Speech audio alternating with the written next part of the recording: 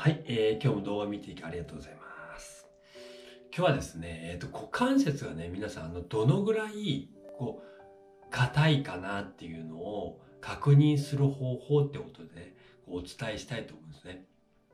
で、あのーその、えっ、と、修正法もね、ちょっとこう、お伝えしたいと思うんですけど、で、あの股関節ね、あの実際ですね、どうやってこう確かめるかっていうと、硬いかをね、確かめるかっていうと、まずね、立ってみてください。立ってみますね。立ってみます。で、立った時に、足、両足の足をまっすぐにしてみてください。はい、足先を、はい、自分の体に対してまっすぐに足先を伸ばしてみますね。曲がったりこうちょっとしてあげてください。内側になって。足先をまっすぐです。足先をまっすぐ。で、足先をまっすぐにした時に、足先をまっすぐにしたんですよ。今こういう状態なんですね。あの、足がね、足先が。で、このね、足先のここを平行、平行に、まっすぐにね、両足二つを一緒にしてもらって、まっすぐしてもらってね。右の足ね、これ足、足だと思って。右の足をね、こう、左の足の方にね、かかとをこうグッと90度にしてみてください。いいですか？やってみますね。90度です。90度。はい。で、そうするとですね、皆さんね、足を、右の足のかかとを90度にすると、どうしてもね、こっち側にちょっと行っちゃうと思うんです。右の方に。はいで、自然、あの、何も意識しないでこうやってやると、ちょっとこう行っちゃうと思うんですね。こっち右の方に。で、これが、これ、この、これがあの、あなたの股関節の硬さなんです。この、このぐらいに行っちゃったとしたら、これを、こことここまっすぐに、胸、胸骨ってここにあるんですけど、これを一応まっすぐにしてみてください。これ、ちょっと行っちゃった角度と、まっすぐの角度の、この差が、この差がですよ。この差が。今こうなってるの、この差に戻しましたけど、胸骨がね。この差が、この差がですね、その、あなたの股関節の硬さなんですね。硬さの差なんですよ。もう一回やりますね。今度左の足もやってみましょうか。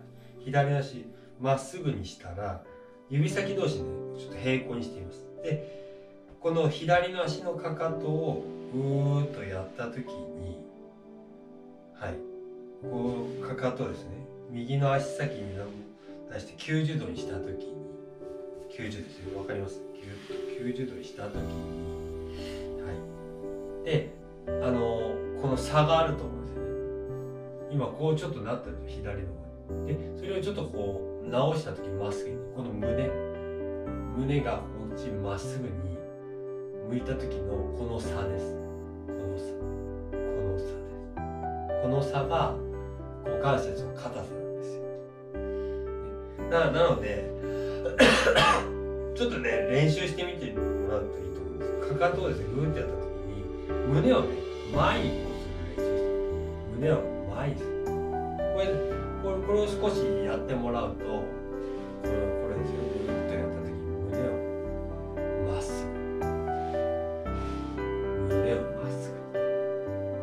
いうことを、こういうことをね、少しやっていくと、だんだんだんだん少しね、股関節も、あの、動きやすくなったりします。かかとをした時に胸をまっすぐって。まっすぐで。こういうのをね、ちょっとしてみてください。で、あのここで、こえー、とですね、ちょっとこう、あの、もしね、ぐっとこうなった時に、これがね、なるべく胸が。で、できればですね、胸がまっすぐになったら、この、えー、腰骨ありますね、ここに。腰の骨がここってあるんですけど、これをまっすぐにしてみてください。どうしても左の足をかかとしたら、こう、こういくと思う、左。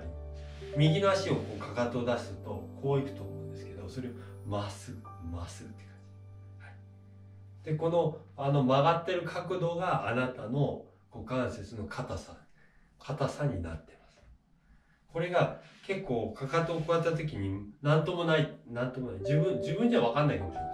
鏡、鏡というか、あの人に見てもらった方が一番いいと思うんですけどかかとをこうした時ちょっとこうなると無意識に。でその時に少しまっすぐにこうなれたら胸がです。胸がです。最初胸が。胸はこっち行っちゃったりしてると思うんですこうまっすぐ。でこういうことをやっていくとだんだんだんだんですねあのこの股関節がねちょっと動きやすくなったりしますので是非ねやってみていただ